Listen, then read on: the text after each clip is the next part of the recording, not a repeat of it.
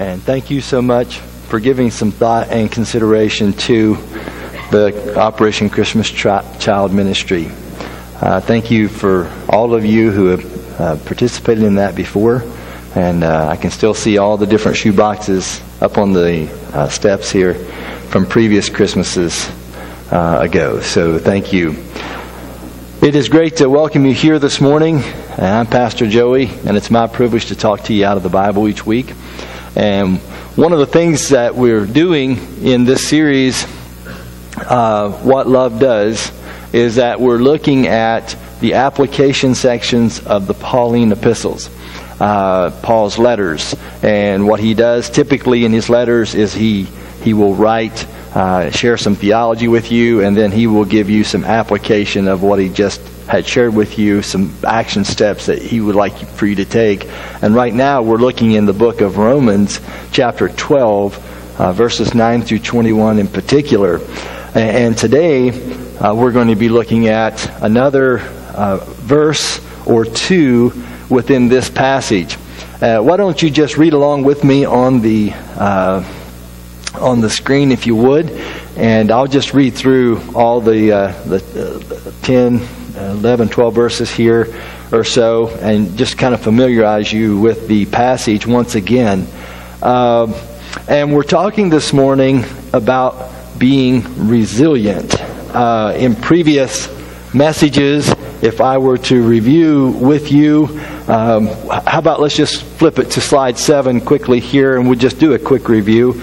Uh, in previous messages, uh, we've looked at uh, love must be sincere, love does with a pure motive. Uh, and then next slide is we're choosing authenticity over hypocrisy.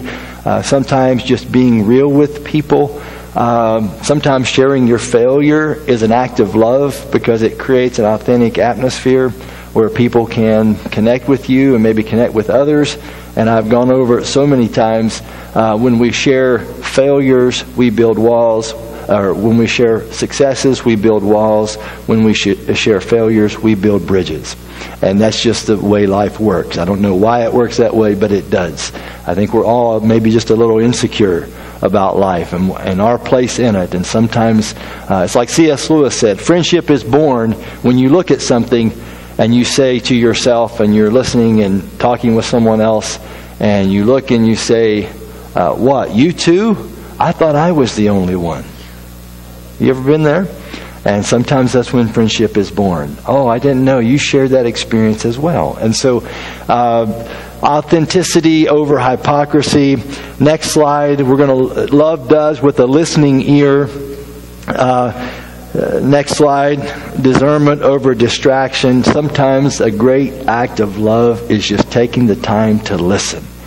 Uh, and you know that's becoming much more difficult these days with our smartphones and things. Uh, they've done studies on this and how the attention span is now down to seconds many times because we're used and conditioned now to just taking our information in a matter of seconds at a time. And so just taking the time to listen with an empathetic ear can be a ministry. Don't ever discount that. Just taking time to listen. And when we listen, we discern over distraction. We are learning things and discerning what our next steps are to be. Slide number 11, love does with a family affection. We, cho- we have chosen, we're continuing to choose respect over arrogance. Brotherly affection is uh, the phrase that's used in some of the translations of this particular area of, of uh, Romans 12. Respect over arrogance. Slide 12. Uh, Sometimes to show someone respect, regardless of maybe the viewpoint shared, sometimes that's an act of love. Uh, well, it always is an act of love because we want to get arrogant and we want to um, make our opinions known and so uh, not show respect. Instead, show disrespect and by that maybe get even or try, try to let someone know that we disapprove. Uh, there's a higher way to do that. Love does, slide number 13, with the fresh energy. We've chosen enthusiasm over burnout. It's important that we bring all that we are and all that we uh, are about to life. Um, what's, what's the one quote that we used in this particular message? Um, Don't ask what the world needs. Ask rather what makes you come alive because what the world needs are people who are fully alive, people who are enthusiastic in the life that they're living. And so it's important that we bring this, and that is a gift. What does love do? It chooses enthusiasm over burnout rather than turn away in our burnout. We do what we've got to do to energize and to be able to bring all that we are to the table. And when we share that gift with the world, what a blessing it is. And so that's important. Well, love does this morning, love does, uh, slide 15, love does with a joyful expectancy. Love does with a joyful expectancy. Be joyful in hope, patient in affliction, faithful in prayer. That's a great way to live life. And I'm saying that love does with a joyful expectancy. Slide number 16, if you would.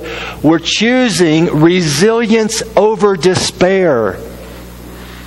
We're choosing to bounce back when dealt a setback in life. And um, Paul is one who knew, knew how to bounce back from things in his life. Uh, and he went through a lot of different uh, experiences where he struggled, and, and he shares some of those with us. If we look on slide number six, the guy that wrote our words here, okay, in Romans 12, this is the guy that says, I've, I've worked so hard, I've been jailed more often than my opponents have been jailed, I've been beaten up more times than I can count. I've been at death's door time after time. I've been flogged five times with the Jews 39 lashes, beaten by Roman rods three times, pummeled with rocks once. I've been shipwrecked through three times. I've been immersed in the open sea for a night and a day. In hard traveling year in and year out, I've had to ford rivers, fend off robbers, struggle with friends, struggle with foes. I've been at risk in the city, at risk in the country, endangered by desert sun and sea of storm, and betrayed by those I thought were my brothers. I've known drudgery and hard labor, many a long and lonely night without sleep, many a missed meal, blasted by the cold, naked to the weather. My goodness, you thought your life was hard.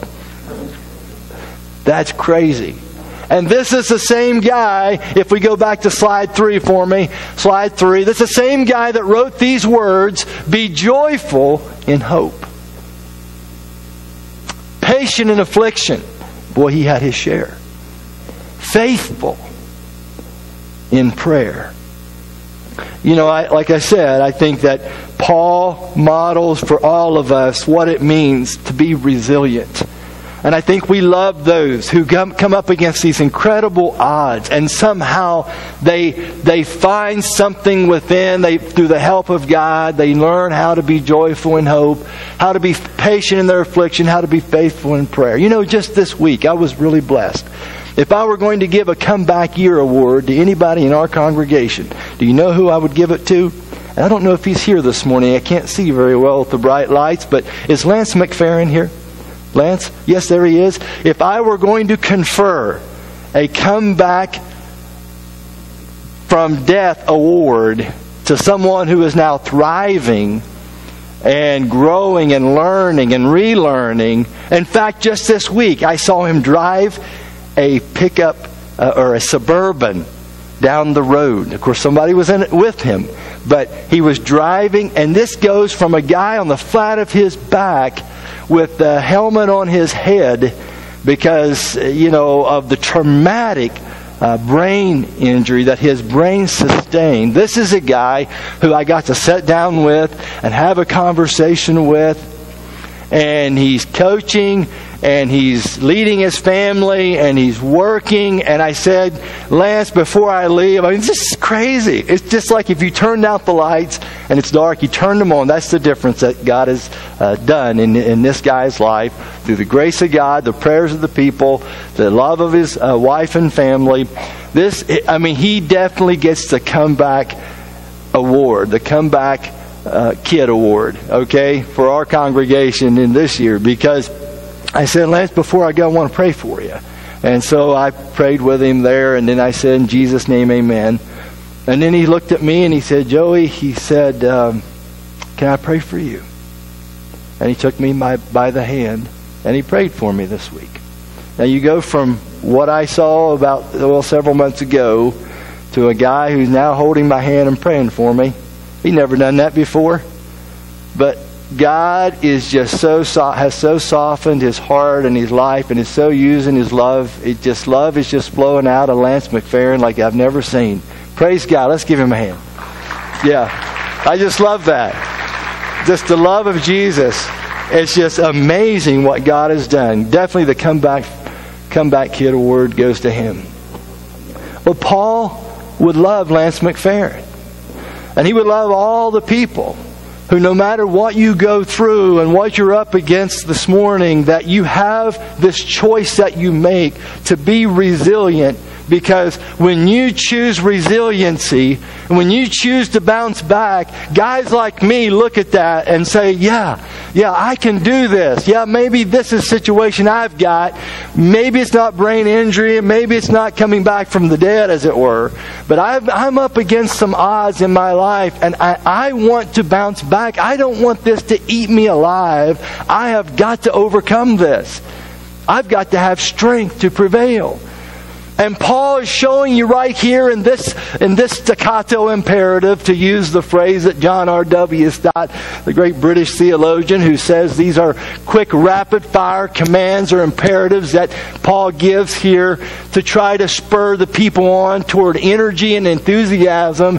And he says, Don't be lacking in zeal all from a guy shipwrecked and beaten and stoned. Don't be lacking in zeal, but keep your spiritual fervor serving the Lord. It's all about Him.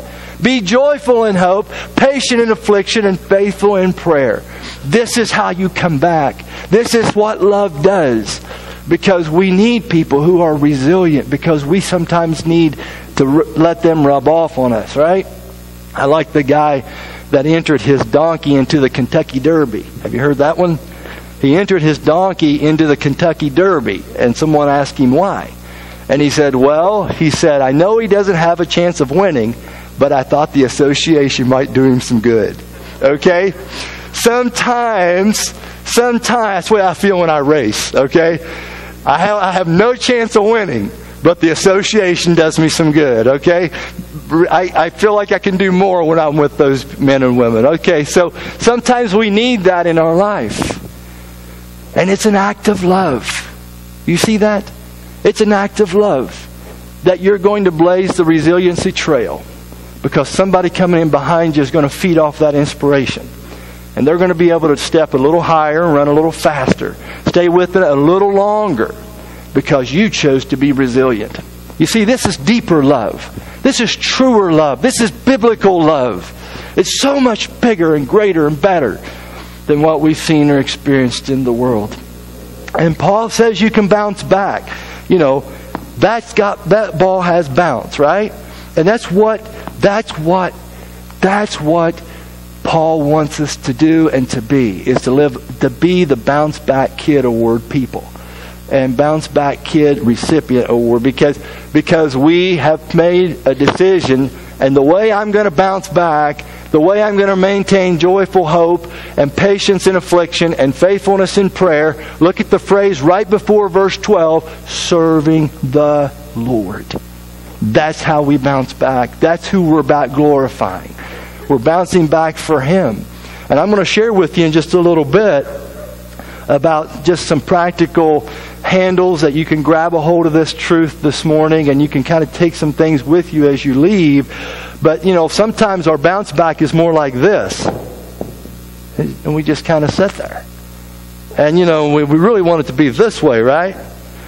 And so, and so Paul says if you're going to have a, be a bounce back kind of person, and I'll tell you who else was a bounce back uh, kind of person was the Lord Jesus Christ.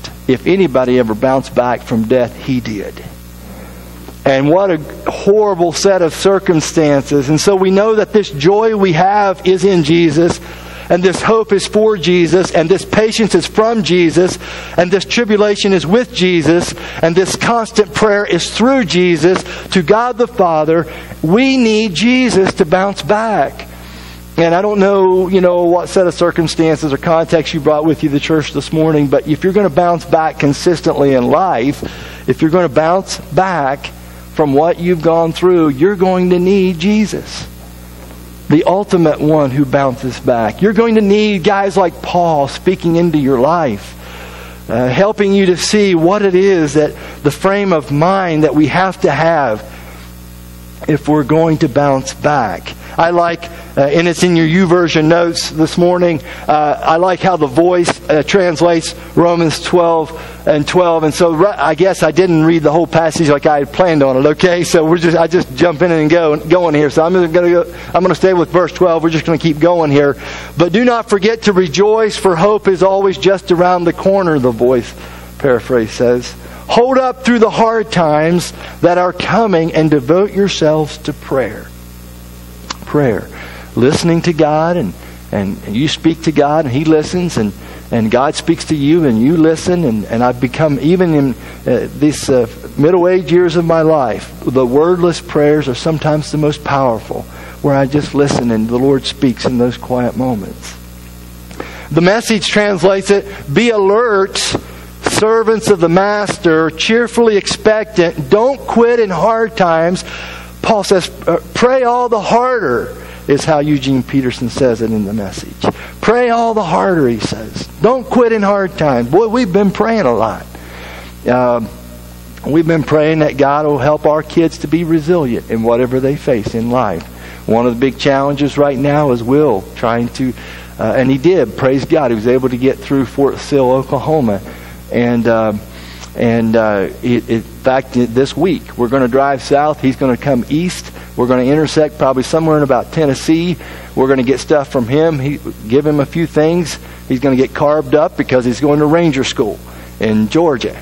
And so uh, it's going to change of plans a little bit. And so we're going to see how that goes. And and uh, he's he's wanting to. I understand wanting to carve up a little bit. And he, and he requested Johnny Marzetti of all things. So we're going to take some Johnny Marzetti from Northeast Indiana down to somewhere in Tennessee, meet him, and and. Uh, and he's going to be up against us some really some tough a, a tough 62 64 days there uh, where he's going to have to be resilient and bounce back and believe when he's out there shivering in his underwear okay in the mud and laying in the, laying in the crap uh, he's going to have to believe that he can bounce back. And, and you're going to have to come into this thing with a hope patience in affliction and faithful in prayer. That's that's a ranger that's a ranger verse right there if i've ever seen one and uh, it reminded me a couple years ago, he went to uh, Alaska for mountain warfare training. And this was like sophomore, between sophomore, I think sophomore junior year, freshman sophomore year. I'm not sure which year that was. It was a couple, three years ago. And he was trying to learn how to fight on glaciers and in cold weather and things like that. And it's really a challenge. And uh, he said one guy showed up and they did the first thing, and he got cut the first thing. He said the guy came back. They already had his bags packed and everything, was sitting by the door, and they put him, sent him back home. And he said, "Man, that put the fear and trembling in me because I didn't want to be one of those guys that got sent home that quickly. He wasn't there, you know, 12 hours, and he's already on the bus back home, you know, or the plane back home. So." Uh, he said that really put the fear and trembling in him. He said he had to learn how to tie like 50 to 100 knots. I don't know how many, just a bunch of them. And he said at one point he was tying the knot, and you're on the clock, and you have so much time, and you got to leave about four on one particular knot. You got to leave about four inches because if you don't have that four inches of rope or paracord left, you're not going to complete your knot per specification. And he was trying to get that thing tied, and he saw it was going to be really close, and he said my whole body started shaking because if I didn't get the knot, I'm out of the program. And he's shaking. He says, I'm just shaking. I just can't. It's like, oh, of all things, four inches of a paracord, a piece of paracord rope's going to knock me out of this thing. And he said he said he knew it was going to be close, but he kept going. He got it. He cinched it tight, and boom, it was enough that he needed to get it done. But we've been praying a lot because uh, that's the only thing we can do. And when you become a parent and you see the knots in your kids' lives, and I don't know what kind of knots you got in your life. The stuff that you know, that challenges you, the stuff that maybe is going to set you back in life, and you're, you're afraid this morning, and you literally shake because you don't know if you're going to be able to have what it takes to get through that next affliction or that next uh, challenge in life. This is what you have to have if you're going to make it through. You need the Lord, serving the Lord. You've got to have Jesus. But in, with Jesus at work in your life, you can be joyful in hope. It's going to get better tomorrow. You can be patient in affliction. You're going to have a, and the word patience means it's hypomone. Uh, uh, it means to up under is the Greek. I looked at the Greek and defined that a little more precisely this week. When you're patient, you remain up under something. When you're patient, you stay under. You you you're not quick to get out from under the pressure because that's our tendency. You stay up underneath it and let God do His work in it. And you let Him guide and orchestrate and, and lead you while you're underneath the burden of it. That's what it means to be patient patient and you stay up under and faithful in prayer. You're, you're, uh, you, you pray with frequency and fervor, and sometimes they're wordless prayers, and sometimes they're worded prayers, and we we verbalize, and sometimes we don't. We listen, and, and back and forth it goes. And so, if we're going to be resilient, we need the Lord. We need that the hope that things will get better, that God will use my messes for His glory, and that's that's uh, and that ultimately He does He does work through our messes. He get, He gave us Jesus, who's ultimately going to give us a better world. We understand that eschatological hope is huge in the Bible. God breaks in, and this thing transitions to a beautiful ending. But uh, there's also the hope that He can somehow redeem and reconcile all the messy stuff that I've done in my life. Somehow He can use it to help me bounce back and to help others bounce back, even though maybe I haven't always been what I needed to be. God used my mess to glorify you in some way. That's hope. And so rather than lamenting in despair this morning, what love does, what Paul does, he calls us to rejoice in hope. Rather than escape, Paul calls us to endure tribulation. Rather than neglect prayer, Paul urges us to persist in prayer. This is how we bounce back. That's how we bounce back. From Paul's perspective. You know, I came across a great quotation this week by one of the great uh, revivalists and theologians of the 1700s. His name is Jonathan Edwards. In 1800s, Jonathan Edwards.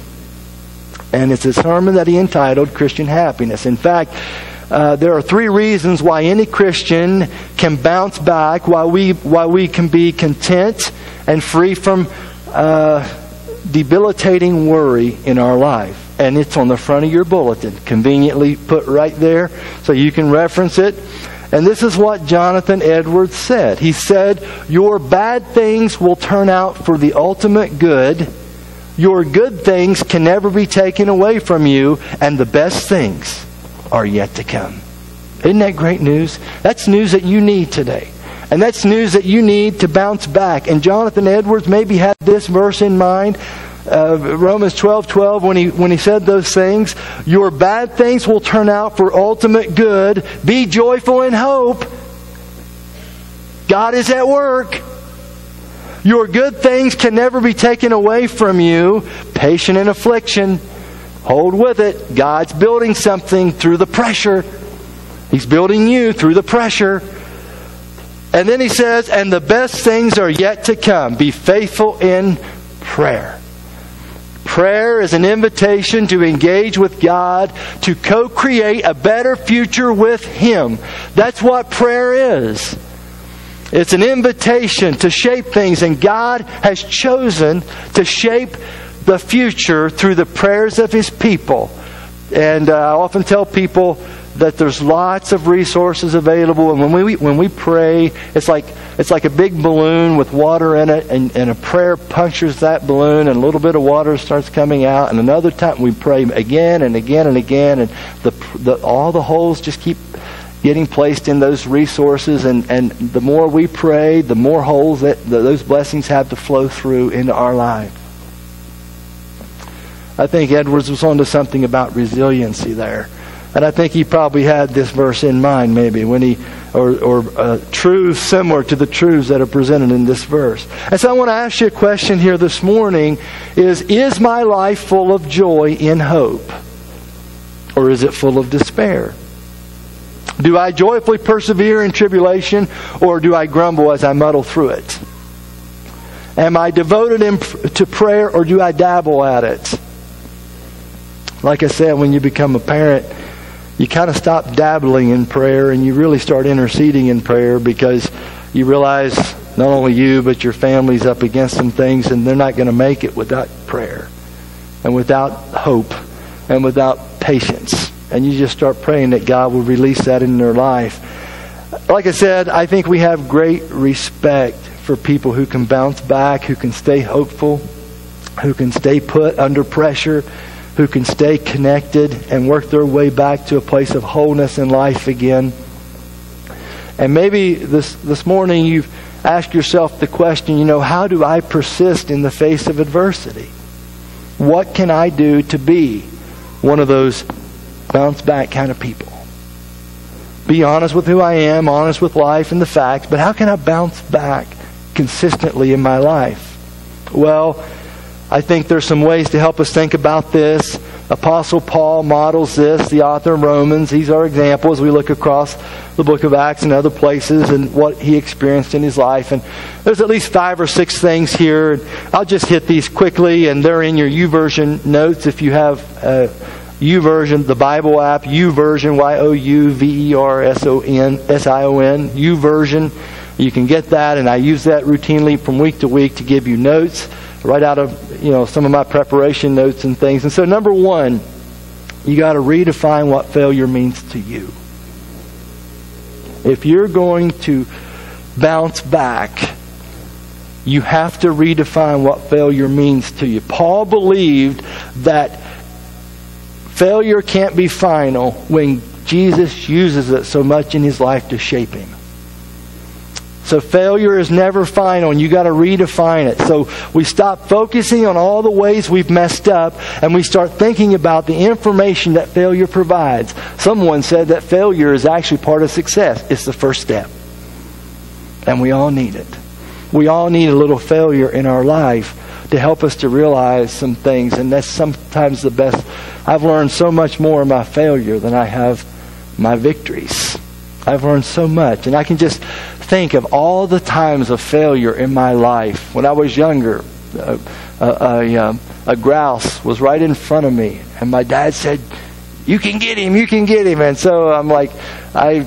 I didn't think I was close enough, and so I had, you know, I had my 12 gauge, 20 gauge, I think, at the time, and I was just trying to ease up closer before I would squeeze off the shot. And of course, you know what happens. Grouse are very um, keen and they have great eyesight. And so it flew. And, and it's like, man, I, I blew that. My dad would have been so proud of me. He would have loved to see me pull up and just pop that thing and feathers go everywhere. He would have just he, he was a country guy. He would have just he would have still he would have, he would have died grinning just ear to ear. He would have just been in his casket just grinning if I would have done that.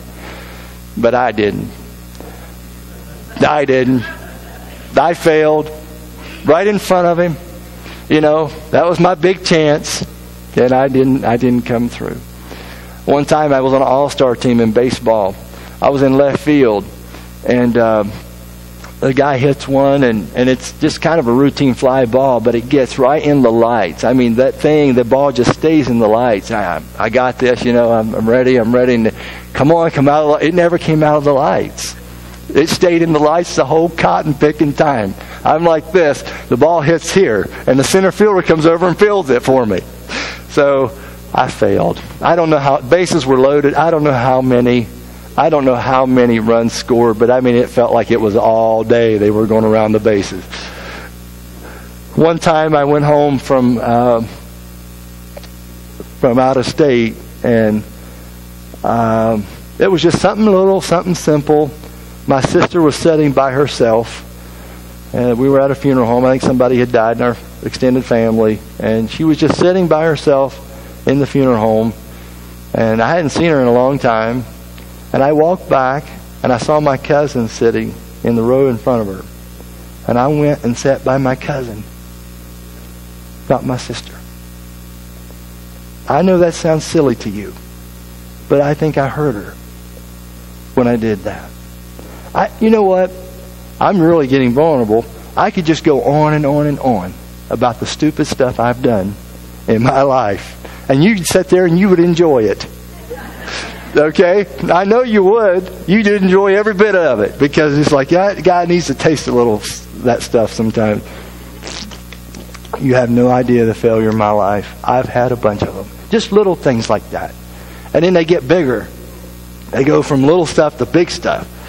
And then it's like I, I start talking about that, I'll never get through my point. So uh, you got to redefine what that means, though. You can't you can't let that define you in the rest of the way you go. You got to learn from things. And so now I always try to, you know, when I'm back home in town or whatever, I want to make sure I give time and attention to my family and learn from those times when I maybe neglected them. And uh, but you got to redefine what failure means to you. If you don't, if you don't redefine it and failure's going to define you, you'll never do this. Okay? Your life will be about like that. You'll never come back from much of anything because your failure is all that you're about. Number two, experience disappointment, but don't wallow in it. One of Paul's most joyful letters, the book of Philippians, was written while, while he was incarcerated. Now you think about that. He's in prison and he writes one of the most joy filled letters of the New Testament. The word joy or its derivative, joyous or, you know, its derivative, it appears multiple times in that little book of four chapters. And he wrote it while he was in prison. Experience disappointment, but don't wallow in it. Allow yourself to experience the frustration, and disappointment. That's life. That comes with failure. But get up and get going again. That's what it means to bounce back. Number three, practice appreciation and gratitude for other people and what they do for you. Uh, if you're not looking at the, the, the blessings that other people are in your life, you're not going to bounce back very well because you're all internal and everything's negative. Number three, go with the flow and improvise. You ever heard that before? Go with the flow and improvise. We're talking about bouncing back, redefining failure, experiencing disappointment, not wallowing in it, practicing appreciation, gratitude for other people. Number four, go with the flow and improvise. There's a time to stand against the current, especially when values are involved. But so many things in life you can't do a thing about. It's too big.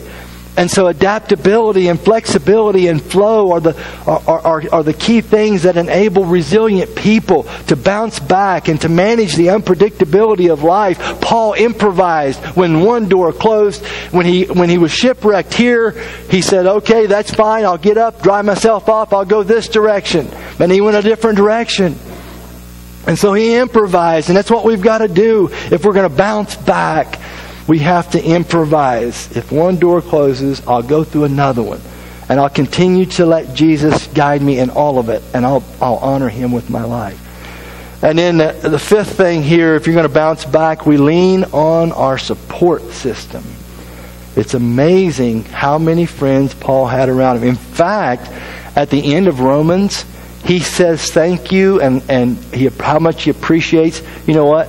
18 men and 15 women. Women were very prominent in the early church. Very high, they were highbrow women, high status women. And we see this from other ways and, and other uh, uh, letters. But these women and men in Paul's life was his support system. And it's, inter- it's interesting, too, that when we look at the book of Acts, occasionally the writer of Acts goes into um, second uh, person, uh, first person plural when he says we. He puts himself in the story. And Luke includes himself. He says, We went here. We did this. We did that. Not just Paul did this and Paul did that. We did it together. It's the power of we. And Paul had that support system in his life. And I tell you what, the local church is an incredible support system in your life. If you're going to bounce back, don't try to do it alone. You need people in your life. If you're going to bounce back from failure of any kind, you need to redefine what failure means, experience disappointment, don't wallow in it, practice appreciation and gratitude for people in your life, go with the flow and improvise. Paul again models this. Learn, lean in, lean in and, and lean on your support system. If failure defines you, if you wallow in disappointment, if you never show gratitude, if you can't imp- improvise or flex with life, if you have no support system, no bounce. Maybe a couple and you're done. But if you do these things, Paul says, you know, there's some bounce in your life. You can bounce back and you can go on to accomplish what God's calling you to accomplish, and you can be an inspiration to other people. Well, there's actually one more here. By the way, anybody want this? Here we go. Boom. Okay. Okay. Off the lights. Okay. I got another one. I'll go a little lower this time. Boom. All right. So I'm not going to throw this one. This one's actually. Where did the other ball go? Okay. Well, somebody can fetch that after church, maybe. But this one's a little harder. If that one hits you, that's going to hurt you. So I'll, here, I'll give this to Wes. Boom. Maybe Wes will use it somewhere. But um, there's one other thing here is, and I would just say this when it comes to bouncing back hang on to humor. Uh, we can appreciate things a whole lot more. Uh, uh, and when we can appreciate the humor in something that's usually pretty heavy or serious, it's a way of dealing with it. Um, it's a way of saying that this is not going to sink me. I'm going to bounce back from this. And there were some false teachers that were touting their credentials at the time that Paul wrote the, the Second Corinthians passage that I just read, where all those things had happened to him. Um, and they were touting their credentials, and you kind of dig into that a little bit, and you realize that they were challenging his authority to tell them what to do, to redefine things like the gospel, and to show people that they could be Christians without becoming Jewish and doing all the necessary things to be a good Jewish person uh, or religious person. And that really didn't set well with a lot of very rigid and Pharisaic people. But anyway, they were challenging his authority. And Paul says, okay, you guys want to challenge my authority? You want to challenge my resume? All right, let me give you my resume. And he's grinning while he writes it. And it's just a mild, it's a mild attempt at sarcastic humor. Okay? In other words, when he's done with that paragraph and he looks at those guys and their eyes are about that big, and now he can say, Now, which one of you matches that resume? Okay? So he's being sarcastic. Got a little sense of humor going, too. And not one of them would step up and say, Okay, I'll sign up for that, Paul. So he had them. He had them. And so it's important to hang on to humor if we're going to bounce back. And you know, slide number 23, uh, there's a guy, Bob Goff, I've referenced him before. And I think this is this is something that he does really well, and this is one of the reasons why I think he's probably been resilient in his life. And he, he writes a, a little essay, a little personal experience story that he entitles The Reach in his book, Love Does. It was his first real job, and he says it was at Lehr, uh, Lehr's Greenhouse Restaurant. He says Lehr's was a fantastic glass building designed to look like an arboretum. And each table, he says, was set, was set inside its own white gazebo. He says uh, that the crystal and china place settings were perfect in this restaurant. The waiters wore black tuxedos and cummerbunds and bow ties. And Bob said, and I'll quote him, he says, When I applied to work at Lehr's Greenhouse Restaurant, I imagined how great I would look in a tux. He says, I would, how I would, I, I, I visualized how I would memorize the menu and make every prom date or or business dinner a flawless experience. He said in order to become a waiter at Lehr's Greenhouse, he had to start as a busboy and work his way up. And he said it was hard work being a waiter, but someday he knew it would be worth it. And so as a busboy, he learned that the white gazebos and the crystal and the china, it made for some really tight and hard to maneuver situations. And as a busboy, it was hard enough to reach across the table, he said, and get the dishes with nobody even there. And he couldn't imagine having to navigate that with people that were seated at the table all the while and how the you know the waiters would have to serve them and navigate all the breakable things and and still do a good job and he knew that would be hard and it was hard enough for him just to bust the table without breaking something much less serving people while they were there at the table and he's trying to do what he needs to do. And so he says on his one year anniversary at Lehr's Greenhouse Restaurant, the manager pulled him aside and said, Bob, I think you're ready. Get your tux. I think we're going to bump you up to server. He'd been working a whole year, and he said he was at the tuxedo shop the very next morning when it opened, and, and on his first opening night as waiter, he was so excited that he could hardly eat. He said, I sprinted out from my apartment and I grabbed some quick Mexican food around the corner because they wouldn't let us let, let all the waiters eat the food at the restaurant he was working at, okay? It was pretty, pretty good stuff and they had a rule and he couldn't eat that. So he rushed out and he got some Mexican food and he rushed back. He put on his expensive tuxedo and uh, he said it was so expensive that he only paid half of it and he was planning on paying the other half with tips that he would earn over the next couple of months he, uh, he hops in his VW bug. He drove to the restaurant and he parked around the corner so nobody would see what he drove up in. You've done that before. The night, he said, was cloudless. Patrons could see the stars through the glass ceiling. It was Bob's moment to enter the big stage in the tuxedo. It was his moment. He'd worked hard for it. The manager and the, and the host escorted uh, his first guest to one of the elegant gazebos in Bob's zone that evening. And the men in the group were starched and tidy, and he said the women looked like they had stepped off the cover of Vogue magazine. Bob put napkins on all their laps, and he gave them the speech that he had rehearsed a dozen times. He told them about all the incredible choices they had he tried to set up what was going to be their best dining out experience of their lives. He placed their orders, and after a short time, he returned to the gazebo with the steaming plates. And as he was making the big reach across the table, it was a wide table at that, and he was carefully avoiding the china and the crystal, he said he felt a massive rumbling somewhere south of his belly from the Mexican food he had eaten. He said there was no time to react. At the pinnacle of his full extension across the table with a plate of prime rib, out came what he describes as the most impressive and lengthy gassing you can ever imagine. He said it went on forever. He couldn't stop it. He says, I think I could have sounded out the alphabet. After his episode, he said, I think I heard one of the women scream. The men were shocked.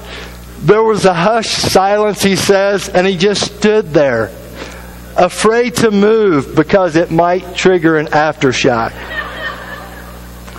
He said one of the men rushed up from the table and he went straight to the manager and told him everything. And Bob was fired on the spot. He says, with my cummerbund in one hand and bow tie in the other, I walked back to my VW bug with my head hung low. I sat in the front seat and I took a deep breath and I wondered what I was supposed to feel at a time like this. He says, on one hand, I'd destroyed a year's worth of work. I'd earned the waiter spot playing in the minor leagues, bussing tables, and when I finally stepped up to the plate in the big leagues, I messed it up. For the next six months, I made payments on that tux until I dropped it off at Goodwill. And he goes on the right. And I share this with you because he's one resilient person. He says, The thing I love about God is He intentionally guides people into failure. He made us born as little kids who can't walk or talk or even use a bathroom correctly. We have to be taught everything. All that learning takes time, and He made us so we, we are so dependent on Him and our parents and each other. And the whole thing, he says, is designed so we try again and again and again until we can finally maybe get it right. And the whole time, he is endlessly patient. Bob said even Jesus talked about losing your life or losing your job finding true life and true purpose in all of it. And Bob says that Jesus comes looking for us in times like this. And things that, that go wrong, they can shape us or scar us. And he says, You know, I've had some things go well in my life, some things that didn't go so well, just like you, he says. More have gone well than have gone poorly, but I'm not trying to keep score because I have a different way of measuring those things now. He says, God finds us in our failures and our successes. And he says that while we used to think one way about things, now he wants us to think another way about those same things. And then he says what I think is a profound statement of resiliency. He says, And for me, I've realized that I used to be afraid of failing at the thing that really mattered to me, but now I'm afraid of succeeding at the things that don't matter. I've realized that I used to be afraid of failing at the thing that really mattered to me. But now I'm afraid of succeeding at the things that don't really matter. By the way, Bob Goff is a very successful lawyer today. He does he pursues justice uh, for kids in Uganda, and he could probably eat at any restaurant he wanted to, in any place in the world at this point in his life. He was resilient. He bounced back. Never lacking in zeal, Paul writes. Keep your spiritual fervor, serving the Lord. Be joyful in hope, patient in affliction, faithful, faithful in prayer. And this morning, I want to ask you, church, what do you need to bounce back from today?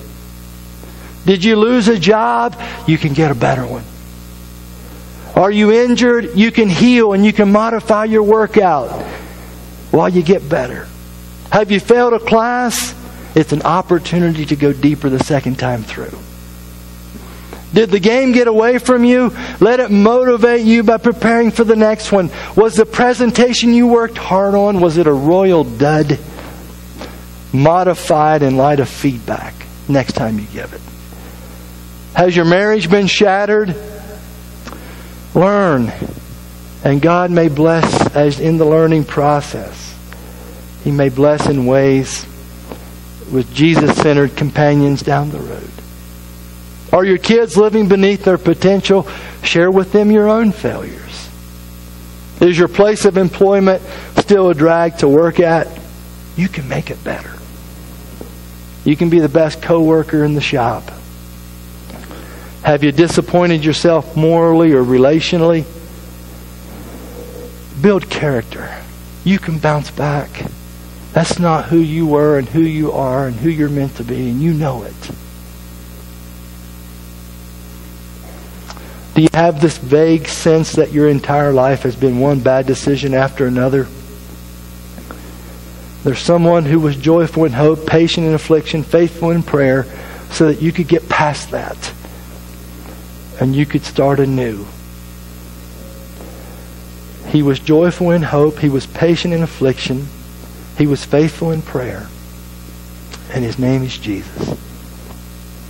You know how in the Garden of Gethsemane, the night before his death, he struggled with God in prayer. And he said, Man, Father, if you're willing, take this cup from me. And during this prayer, Jesus was in anguish. He sweat. Luke tells us, great, as it were, great drops of blood falling to the ground. And never has earth offered such an urgent prayer request as that evening, that night. Jesus was faithful in prayer, Paul says.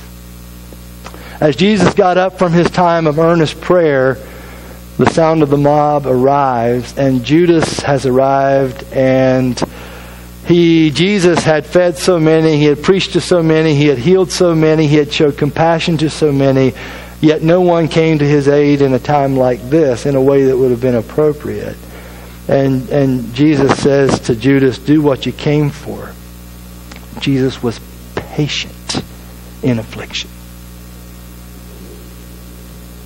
And after this, we see the disciples, and they all desert him, and they witnessed his miracles, and they heard all of his teachings, and they experienced his compassion day after day.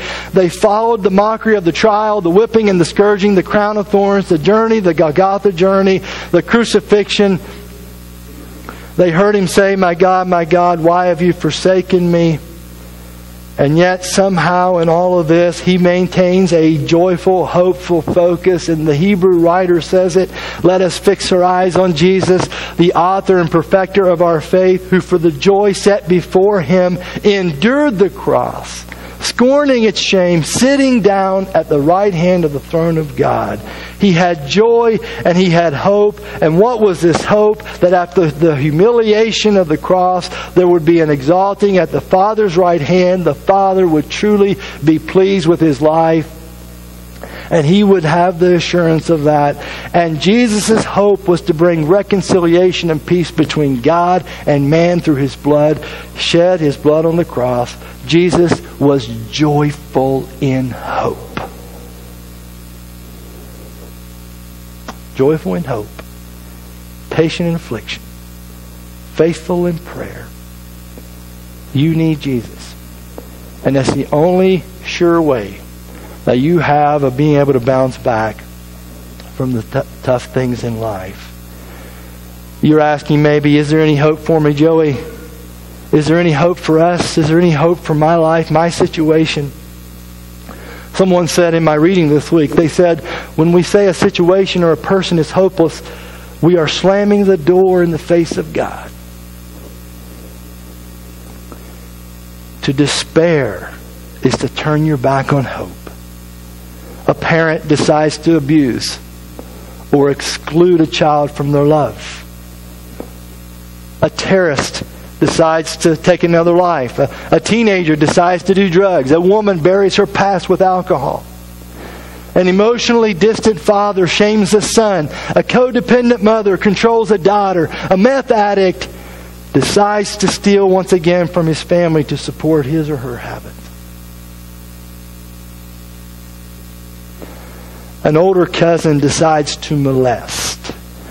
An adult decides to gratify senses at any cost. A family member decides to get physical and violent and verbally abusive. A nation decides to elect what presidential candidates. One is depicted as a grabber and a groper, and one is a, a, a, a person who deceives and who uh, uh, likes to rip life from the womb at any age. Is there any hope? The greatest life of despair I know is when someone decides to stop loving. Someone prayed last week that the presidential candidates are us. They reflect who we are and who we have become. We are the grabbers and the gropers, the liars and the deceivers. That's who we are. Outside of Christ. But through Christ, we've been offered a way out of it and in people like Paul, whose entire life pointed to Christ, in people like our Savior, who we find comfort and hope in, these men learned what it means to bounce back from really hard places. Joyful in hope, patient in affliction, faithful in prayer. That's what love does. And your friends and family need you to be resilient today. And that long litany, that long list I just read, that's the type of stuff that happens in congregations just like this.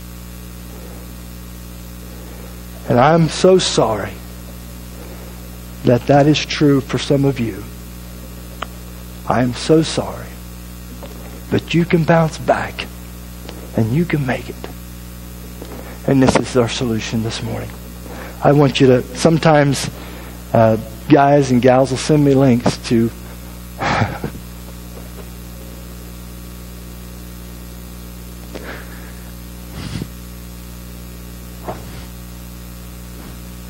Okay, so here we are.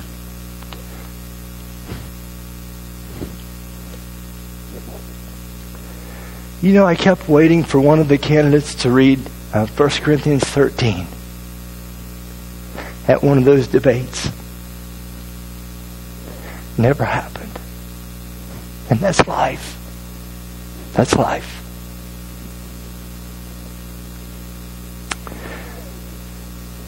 But one of the um, one of you sent me a link this week, and it really caused me to take pause and to think.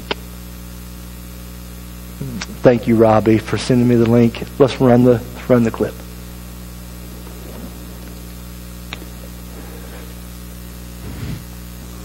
Wow. Kind of peeled my ears back. Yes, let's do one of those, shall we? Yeah, that's the new amen. What love does, Christianity lived out 24 7, 365. Will you pray with me? Thank you, God, for this day. Thank you for bringing us together once again this week. And thank you for the wise words of the great apostle, the great example of Jesus, our Savior. And God, I ask and pray that the church would be the best news the world ever has received. That no matter what happens in elections, and God, we ask and pray that your values and the things that you love are honored in our nation, and that you would help us to have the wisdom to know how to proceed, how to think in casting votes and living a life and doing what our brother here has suggested that we do, that we live out the truth where we are. And that this is what connects with the heart of Jesus the most. And I just ask and pray you would help us to bounce back. And quite honestly, it's been a very discouraging and desperate time. And uh, we feel the despair and we see the despair. But we cannot let it shape or define us. We have to bounce back. We have to move forward. And we want to honor you as we do. And so we ask and pray this morning that you would be with our congregation and you would be with those in life here who are up against some great odds and it's only through your grace that they're going to be able to be of use to you and your kingdom and to live a God honoring life. It's only through your help and strength. And so we pray that they would have that this morning. And when times get hard and the day gets long and the night is even longer, that we would have your presence and friends around us and we could even see the humor in life knowing that there's hope and that brings us joy, that there is patience in affliction and that brings us fortitude to endure, and that we can pray with faithfulness and open up avenues for you to new avenues for you to work in our life in our situation. We ask this in your name. Amen. All hearts free and minds clear.